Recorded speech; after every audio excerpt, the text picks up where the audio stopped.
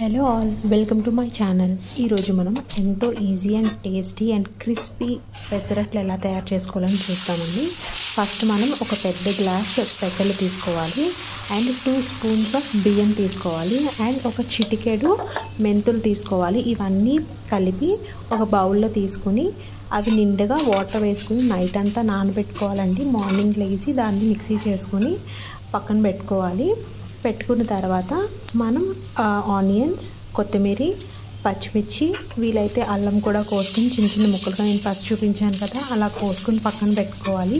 పెట్టుకున్న తర్వాత pan on చేసుకొని దాని మీద ఆయిల్ అవేమి రాయవసరం లేదండి. ఈ ప్యాన్ అయితే నేను తీసుకుని చాలా బాగుంది. డీటెయిల్స్ కావాలంటే చెప్పండి. నేను మీకు చెప్తాను ఎలా తీసుకోవాలి ఎక్కడ తీసుకోవాలి అన్నది. ఈ ప్యాన్ పైన మనం ఆయిల్ అవేమీ రాయవసరం లేదండి. జస్ట్ మనం వాటర్ స్ప్రింకిల్ చేసుకుని నార్మల్గా ప్యాన్ హీట్ ఎక్కిన తర్వాత దోశ అనేది వేసుకోవడమే. వేసుకున్న తర్వాత ఆనియన్స్ కొరియాండర్ అండ్ పచ్చిమిర్చి జల్లుకున్నాను. దాని తర్వాత ఆయిల్ అంతా డిస్ట్రిబ్యూట్ చేసుకున్నాను. మనకి ఇక్కడ మంచి క్రిస్పీగా కావాలి అంటే మనం పెసరట్ని తిరగవేయకూడదండి. వన్ సైడే మీడియం ఫ్లేమ్లో పెట్టుకుని మంచిగా రోస్ట్ అయ్యేలాగా మనం వేపుకోవాలి. వేపిన తర్వాత మనం తింటే చాలా టేస్టీ అండ్ క్రిస్పీ పెసరట్లు రెడీ అయిపోతుంది మీరు ట్రై చేసి చెప్పండి.